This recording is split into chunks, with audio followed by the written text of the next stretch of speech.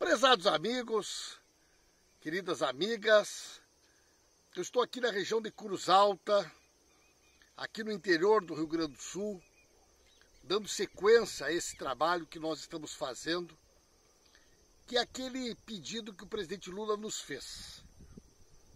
Percorrer o Brasil, conhecer a alma do povo brasileiro, e a gente não conhece a alma do povo brasileiro sem olhar nos olhos das pessoas.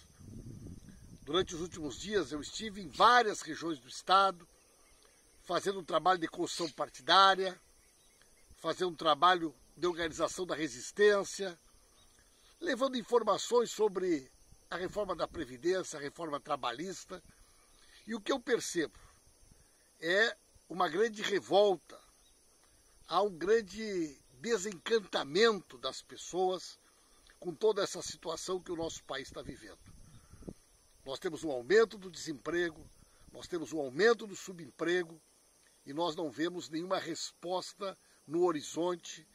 E este governo cada vez mais enrolado em denúncias de corrupção, em malfeitos, em envolvimento da própria família do presidente em todo tipo de irregularidade. Mas não há outro caminho, gente, que não seja o caminho da luta, da organização.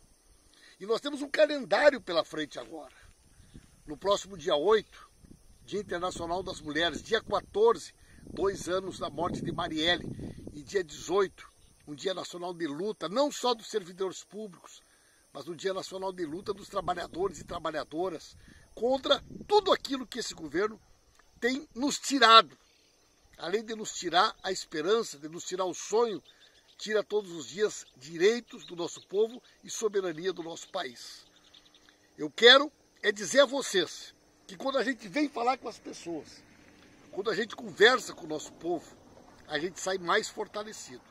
A gente recolhe das pessoas essa energia, essa determinação e essa coragem necessária nesse momento histórico para dar conta dos grandes desafios que a realidade nos impõe.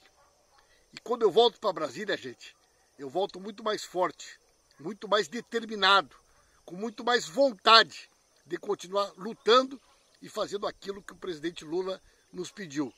Percorrer o Brasil, reafirmando os nossos compromissos, os nossos sonhos e a nossa esperança.